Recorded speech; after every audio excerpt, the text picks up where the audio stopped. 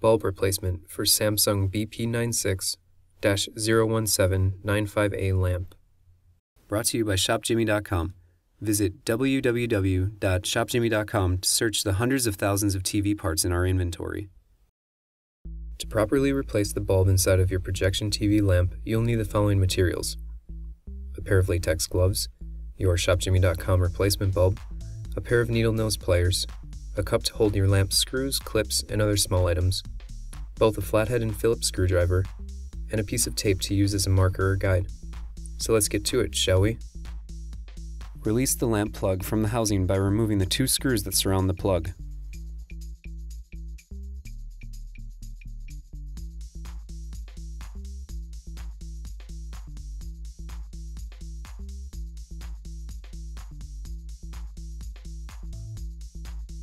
Remove all other housing screws with a screwdriver.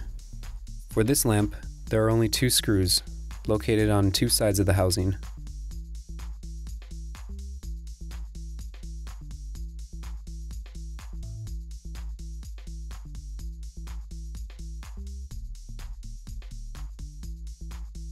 Pull the two pieces of housing apart, guiding the lamp plug and wires with the bulb.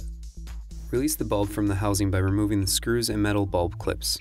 Make sure to note the locations of clips, orientation of the bulb within the housing, and orientation of the wires.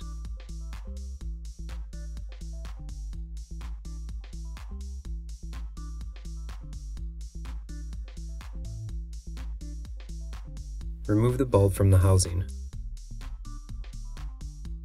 Before removing the wire harness from the bulb, mark one wire with a piece of tape or sticker and make a note so that you don't forget if you've marked the rear or side terminal connection of the wire harness. Release the rear bulb terminal by removing the nut and washer with the needle nose pliers. Release the side bulb terminal by removing the screw with a Phillips screwdriver. Prior to installing your new bulb, check both bulbs and verify that they are equal. Reinstall the wire harness.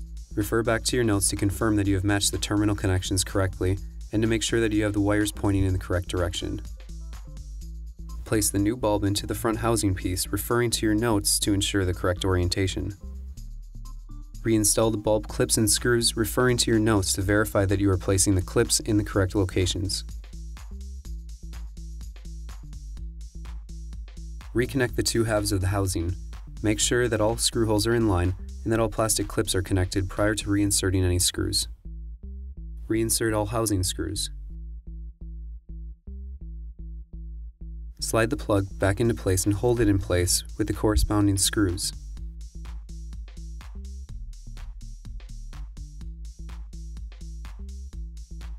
Well, look at that. You did it.